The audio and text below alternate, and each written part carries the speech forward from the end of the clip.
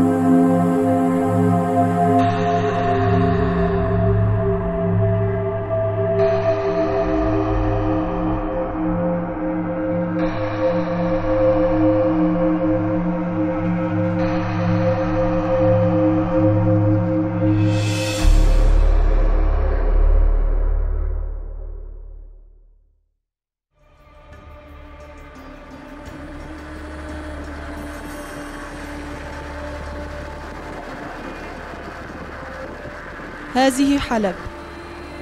قبل ثلاث سنوات فقط كانت حلب من أكبر وأغنى المدن وأكثرها تقدما ليس في سوريا فقط بل وفي الشرق الأوسط أيضا.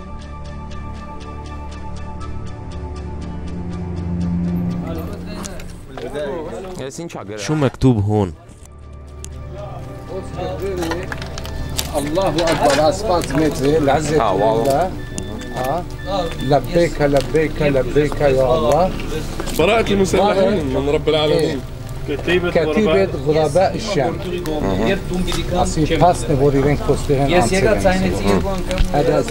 من عبد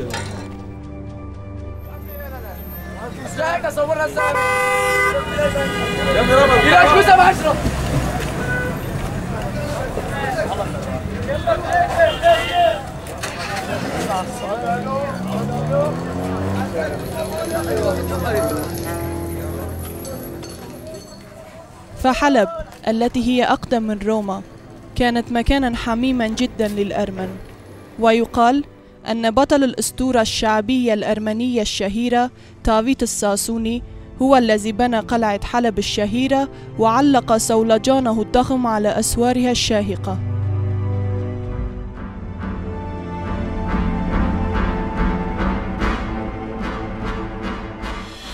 حياة أبناء الجالية الأرمنية التي كانت من أكثر الجاليات تنظيماً أصبحت عبارة عن صراع يومي من أجل البقاء ومن أجل لقمة العيش ومن أجل السلام.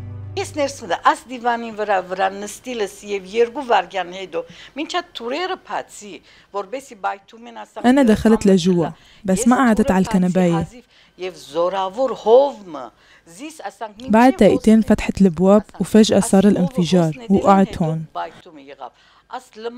هاد كله مع الأزاز وقعت علي كيف قدرت أهرب؟ ما بعرف. كانت معجزة. أني نفدت من هون.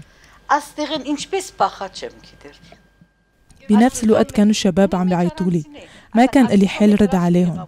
أنا بالحقيقة كنت خايفة عليهم. منيح كانوا رايحين. وإلا كل واحد منهم كانوا تشقفوا. Ես ինձ մի ավելի իրականության մեջ դղոցքը մեղ կանայի, լավ որ կացին աստղակը, ոչ դա մեն մեկը գդոր գդոր եղածին։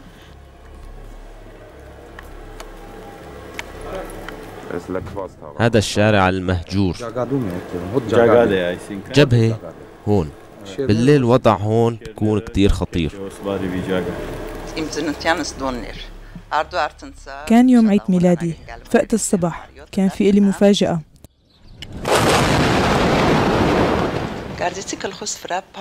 الساعة سبعة وعشرة حسيت إنه الشغلة وقعت على راسي. شفت كل الأغراض صاروا على الأرض. شو هي؟ لوين دخلت؟ تلفنت لي بنت خالتي. سألتني كيف قضيتي عيد ميلادك؟ قلت لها كانت بتجنن. قلت لها بعمري ما قضيت هيك عيد ميلاد.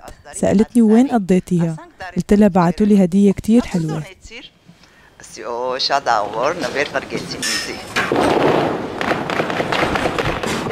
حلب التي كانت عامرة بسكانها وتدب فيها الحياة أصبحت خالية بعد أن شردت الحرب أهلها. منطقة الميدان المعروفة لدى الأرمن بنوركيوغ أصبحت مدمرة ومهجورة وموحشة وخالية من سكانها المعتادين. هنا بالذات كنت تسمع بشكل يومي عبارات باللغة الأرمنية. تهدمت جدران كنيسة مار جرجوس الأرمنية المعروفة بسورب كيفورك التي يعود بناؤها إلى قرون والتي كانت لعشرات السنين موقعا لتجمع أبناء الجالية.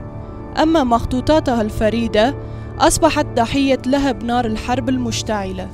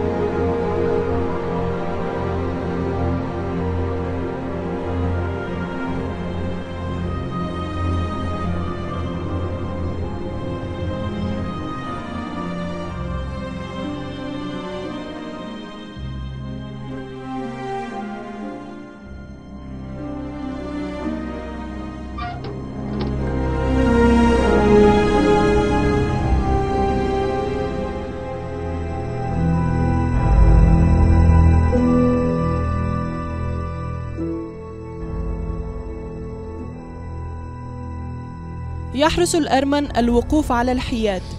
لكن نيران الأسلحة وانفجار القنابل في أنحاء المدينة لا تميز بين قومية أو طائفة وأخرى. الحرب السورية تحصد كل شهر حياة الآلاف. أما عدد الضحايا في صفوف الأرمن فقد تخطت المئة.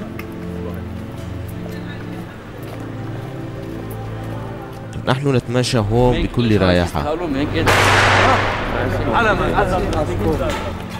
شايف كيف؟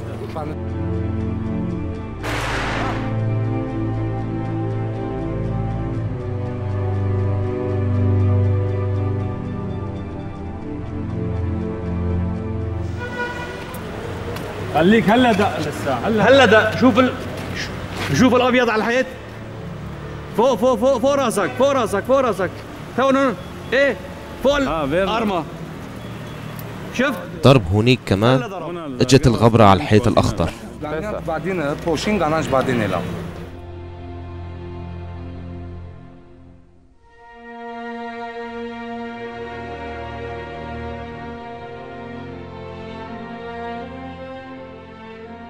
فيكين هايرابيديان هو أول أرمني استشهد في الحرب السورية ويؤدي واجبه في الجيش السوري.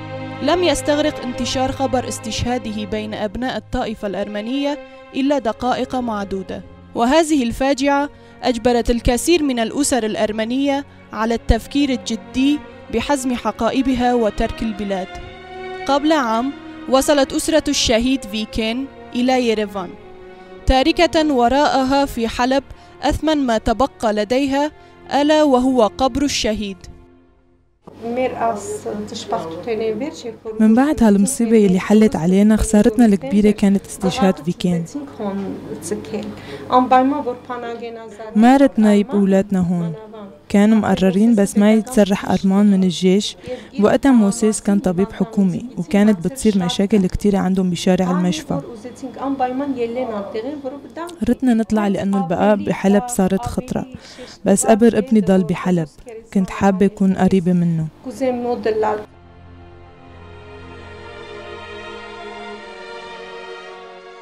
عم بيروحوا. إن وجود الشتات الأرمني وخاصة في الشرق الأوسط هو نتيجة لجريمة الإبادة المريعة التي نظمتها ونفذتها الدولة العثمانية عام 1915 فالمحطة الأولى لهجرة الأرمن كانت الصحارى السورية ومدن دير الزور وحلب ودمشق. اضطر الأرمن الذين اضطهدوا من قبل السلطنة العثمانية للنزوح إلى دير الزور. حيث بدأوا حياة جديدة بعد الجحيم الذي عاشوه. وها هم اليوم؟ يلاقون ثانية مصير أجدادهم. ولكن هذه المرة بالهجرة إلى الوطن الأم. كل يوم يصل مئات الأرمن إلى مطار زفارتنوت الدولي في ييرفان الدموع التي تغمر عيون الأرمن السوريين حينما تحط طائرتهم على الأرض الأرمنية ليست دموع الفرح. بل هي دموع الحزن على فقدان مدينتهم العزيزة حلب.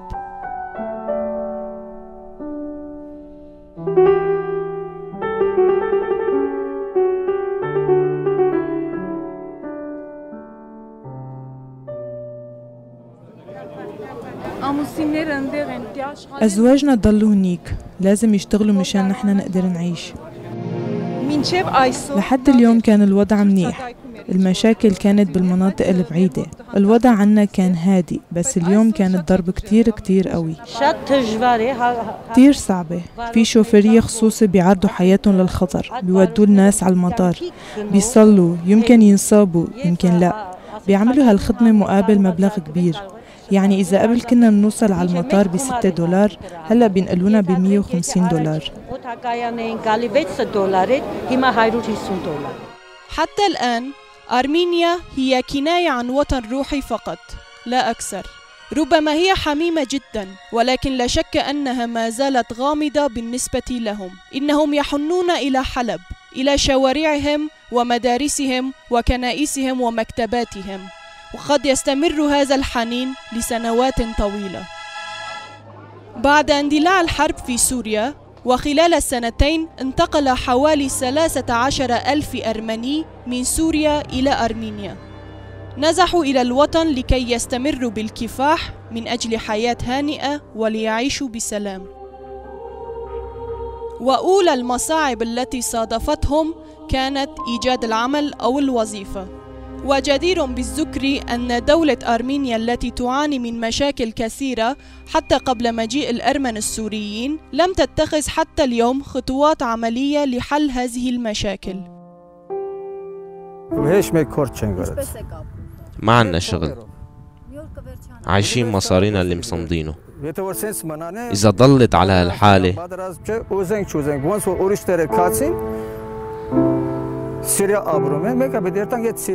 مثل ما بقية راحوا. نحن كمان بدنا نرجع لسوريا لحلب. نحن ما جينا بإرادتنا. على القليلة لازم يساعدونا. بالجمعة بيجينا كتير مكالمات من سوريا. يسألونا شو عم بتساووا؟ شلون عم تتعاملوا معكم؟ بتشجعونا لنجي؟ آه كيف بتقابلكم البلد؟ ما بحسن أشرح لهم الوضع؟ البلد كتير جاهز بتقبلنا بس ما عنده موارد. إذا ما صار شغل كم شهر فينا نتحمل؟ هذا اللي بشغلنا بالنا. حتى لو بدي ضل عايش على شقفة الخبز باكلها بالوطن. من أجل البدء بمشاريع عمل جديدة ساهمت الدولة الأرمنية في مساعدة أكثر من 30 شخصا من أرمن سوريا وذلك بمنحهم قروضا ميسرة وفق القوانين السائدة في البلاد. ويتوجب على الآخرين الاعتماد على أنفسهم لإيجاد سبيل لحل مشاكلهم.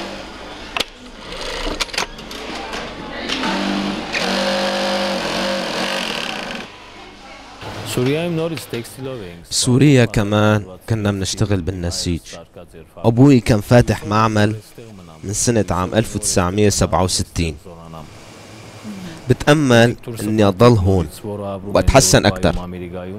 في ناس من برا من أوروبا من أمريكا. هن كمان حابين يجوا يفتحوا معامل هون. هلأ ناطرين ليشوفوا كيف بده يمشي شغلنا.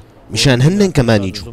نحن كتير رايدين إنه ما نعود نحتاج لبضائع مستوردة من برا.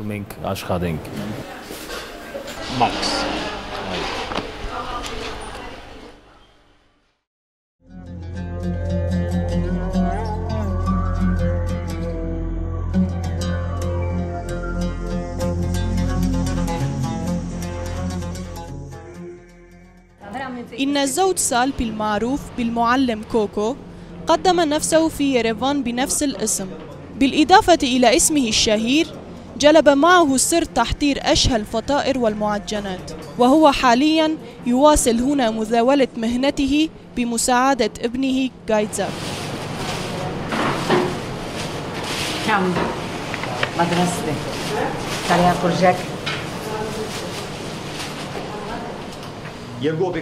بحلب كان في عنا محلين. أنا كنت فاتح محل لحالي وابني لحاله. كان مدخولنا عشرة أضعاف اللي هون. كان عنا كتير شغيلة كنا بنشتغل بآلات حديثة. هون شغلنا أصبح يدوي. عنا خبرة عشرين سنة. طبعا هيك أحسن من قعدة البيت. صحيح إنه هون ضرائب كتيرة بس مو أحسن من قعدة البيت؟ لازم نعتمد على الله. وعلى سواعدنا. لنفترض ساعدونا مرة ومرتين. بعدين مين بده يعطينا مصاري؟ 14 16 بدي كمان آه، أربعة كمان. ماشي. خلص بعدين طبيعي إنه نستعمل كلمات عربية بسياق حكي. هذا الشيء طبيعي. بس غالبا نحكي أرمني. مثل ما أرمن بفرنسا. بيستعملوا كلمات فرنسية. والأرمن بأرمينيا بيستعملوا كلمات روسية. نحن كمان نستعمل كلمات عربية. مثلا كلمة يا الله معناتها أوفاسفات الأرمن كلهم كتير بيستعملوا هالكلمة. من ناحية الاستثمار بأرمينيا عم بتحسن. عم بيقولوا ما في شغل. شوي شوي بتصير بس مو بسرعة.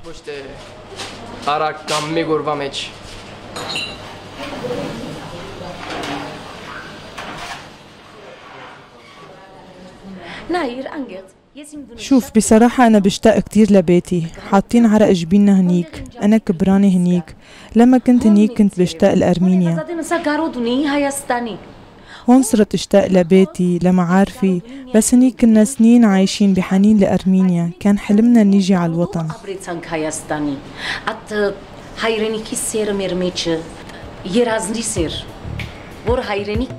المحطة الثانية بعد الوطن الأم بالنسبة للأرمن السوريين النازحين كانت البلد الشقيق لبنان.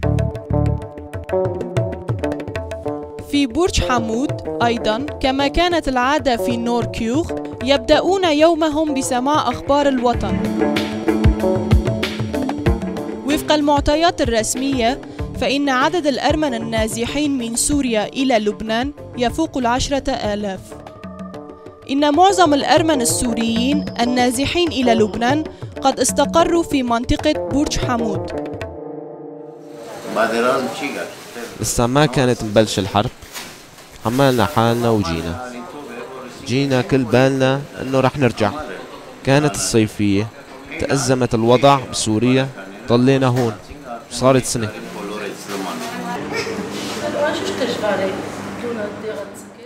هيك أصعب. خلال اليوم تترك كل شي بيتك ومحلك وتطلع لبرا. ما عم نقدر نقنع الولاد بدون ألعابهم بدون فرجتهم.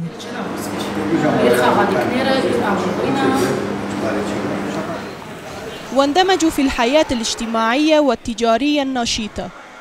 أسسوا المطاعم وباشروا العمل في عدة مجالات بالأخص في تجارة الزيتون وأصبحوا جزءا من نسيج الحياة الاجتماعية هناك. ابتدون النوادي الأرمنية وظهر علمهم إلى جانب الأعلام المعلقة على الشرفات. أنا ما بحب هالبلد. ضليت شهر بأرمينيا. أنا بفضل أعيش بأرمينيا. بناتي لاقوا شغل هون وضلوا. أنا كمان اضطريت أجي لعندهم. غايتنا الأساسية كانت نروح على أرمينيا كنا منشوف إذا في هنيك شغل أو لا. غايتنا الأساسية كانت نروح على أرمينيا كنا منشوف إذا في هنيك شغل أو لا. حتى هي المسألة مرتبطة بممتلكاتنا الموجودة بسوريا. عندي كتير قرايبين موجودين بأرمينيا مبسوطين بس ما عم بيلاقوا شغل المدخول قليل.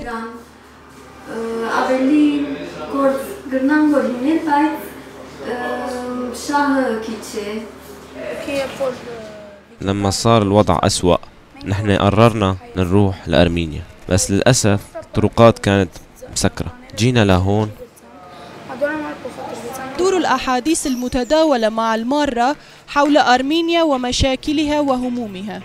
السلام السائد في هذا الملجأ المؤقت للسوريين هو سلام ظرفي وليس نهائي. أصلا لبنان كمان منه آمن كتير. غالبية الأرمن السوريين النازحين الهاربين من الحرب لم يتمكنوا من إغلاق أبواب بيوتهم بشكل نهائي بعد أن أصبحوا أسر الحرب المتواصلة بين الجيشين.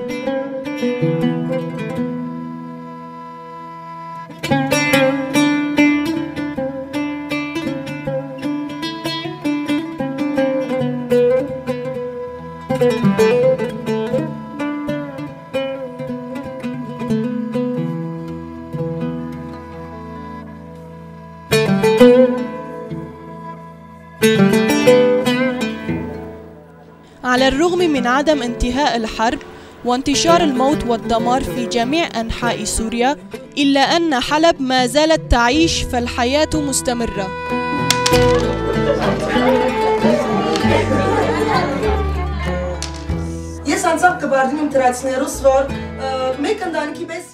أنا شخصيا الفضل بيعود لجيراني كنا مثل عيلة وحدة ما كان في كهرباء. كنا بنجتمع ببيت واحد نتعشى سوا. الحمد لله ما حسينا حالنا عايشين بفترة حرب.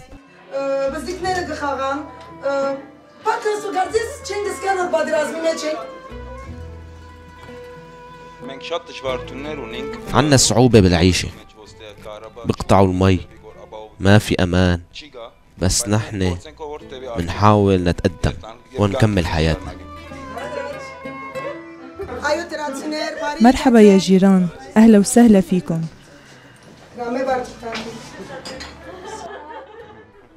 من واجبنا نحافظ على قوميتنا. واجبنا نضل هون ونحن قررنا نبقى. نضل بهالبناية لأن منحس حالنا مرتاحين ومبسوطين مع جيراننا. الشباب بيحرسونا إذا حدا احتاج لشغلة هن بيلبوا إذا اشتعل حريق بيطفوا.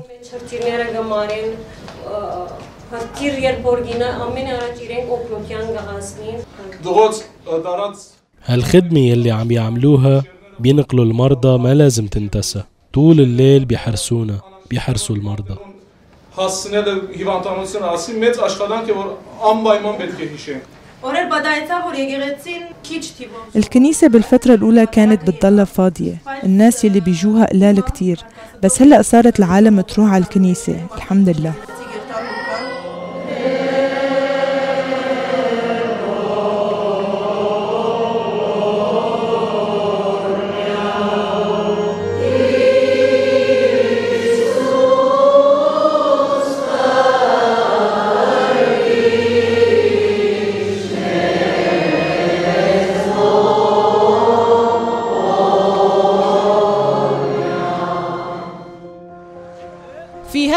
المدينة من الصعب تصديق ما تراه العين فأن الأطفال يرتدون المدارس متجاهلين الأخطار المحدقة بهم. ينشأ جيل كامل من أطفال الأرمن في ظل الحرب وهم يعانون من القلق والخوف لكن تعلو وجوههم ابتسامة الطفولة وحب الحياة.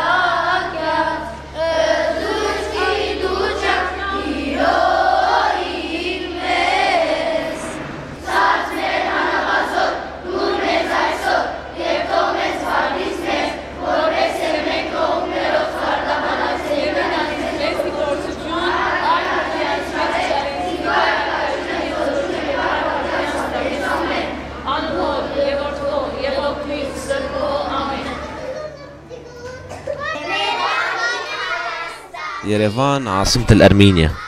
أرمينيا وطننا العزيز هي الساحة الرئيسية لأرمينيا.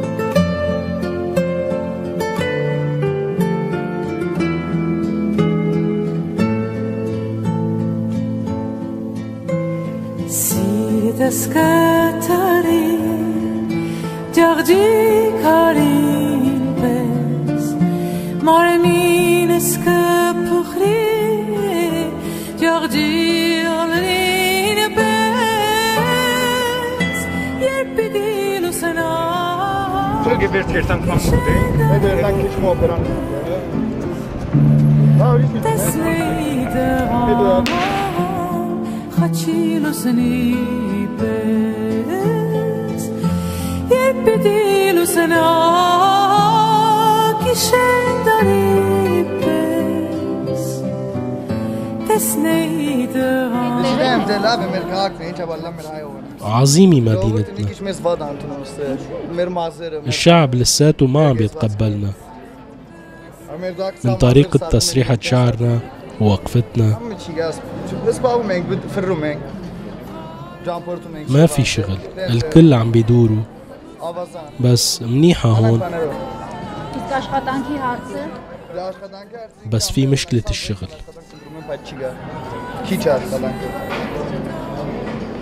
من ناس هاي استانو. Denk lafka, gashad lafka, kapaz korchiga, korzer shad kicha. هالسنة لازم أتسجل بالجامعة ونشوف وين بدنا نستقر نحن بدنا نعمر أرمينيا وسوريا كمان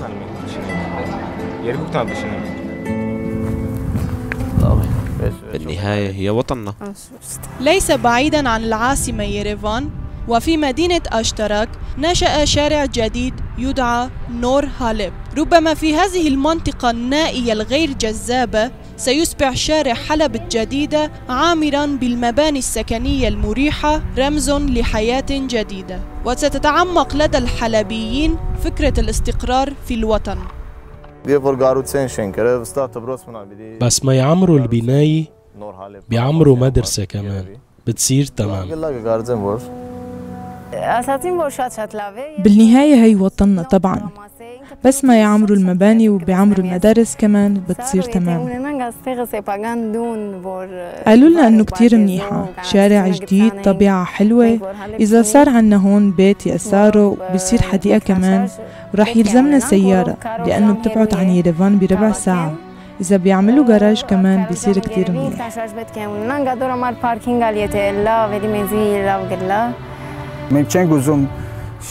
نحن ما بدنا فخامة بس بدنا نقدر نعيش بشكل عادي. في كتير أغنياء. هلأ أجوا هون وضعهم صفر. ولأول مرة في تاريخ ما بعد الاتحاد السوفيتي وبعد عشرين عاما على الاستقلال يعود أرمن الشتات إلى حضن الوطن. يرجع آلاف الأرمن السوريين اليوم إلى الوطن. ربما مجبرين. لتجنب أوضاع الحرب وإيجاد ملاذ آمن لهم. ويبقى السؤال هل سيأتي يوم سيشعر فيه أرمن سوريا أنهم من أصحاب هذه الأرض وأن أرمينيا ببيوتها وشوارعها ومدنها هي ملك لهم أيضا؟ كيف سنتعامل نحن مع أشقائنا الأرمن؟ میگن کام زرتر تین عمرنا حلب مرة بإرادتنا منعمر أرمينيا كمان.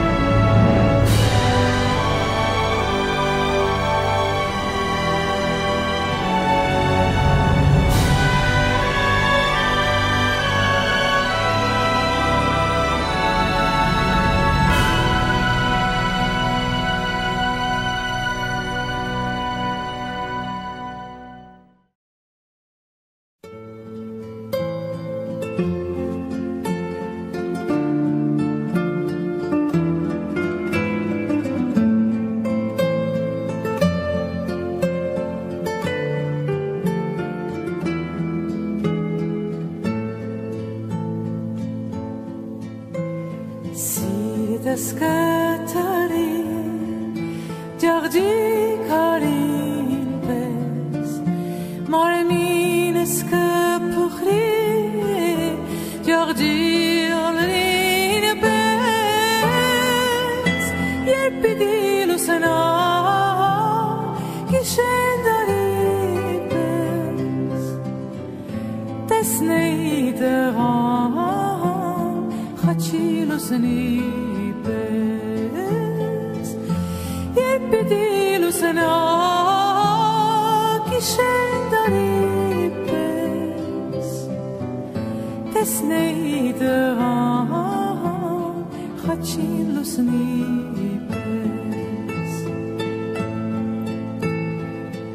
snem că